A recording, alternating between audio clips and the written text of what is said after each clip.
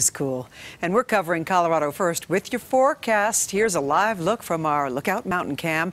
And your reminder we enter daylight saving time overnight. Turn those clocks back an hour and sleep an extra hour, right, meteorologist Chris Spears? Yes, ma'am. On that morning show tomorrow, we will enjoy that extra hour sleep. Check your smoke alarms as well. A couple of showers still out there. This is very, very light, probably not even reaching the ground in many areas, but just know if you're going out, you could still run into a couple of these little pesky snow showers up high or rain showers down low. We have a very powerful jet stream slicing through the area. One weather system's pulling away, the next one drops in tomorrow. It's currently up near Washington. As long as that jet hangs with us, we are going to have cooler than normal weather, occasional wind and occasional bouts of rain or snow.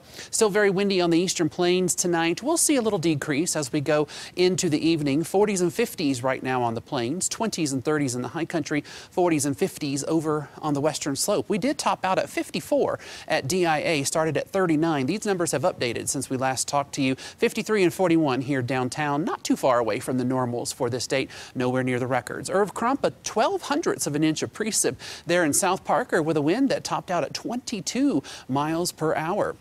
We have a winter weather advisory already in effect for the approaching storm that's up near Washington.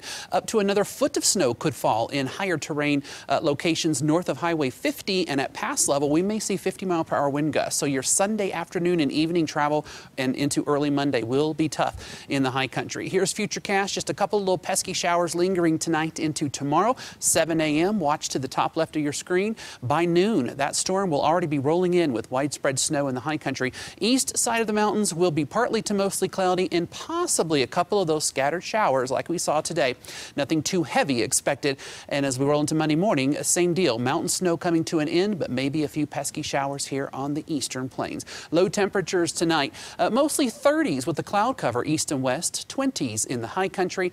Tomorrow, well, about like today, we'll get back into those 50s on the eastern plains with 30s and 40s in the high country. Your temperature is a little colder with all that blue there as cloud cover increases ahead of the storm.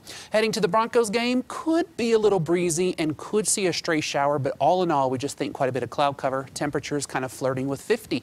Blustery tonight, maybe a straight shower, low to mid 30s. Tomorrow, low to mid 50s, mostly cloudy, possibly an afternoon shower, and a little breezy at times. Here's the five day forecast, Kathy. So that next storm comes in tomorrow and gets out of here Monday.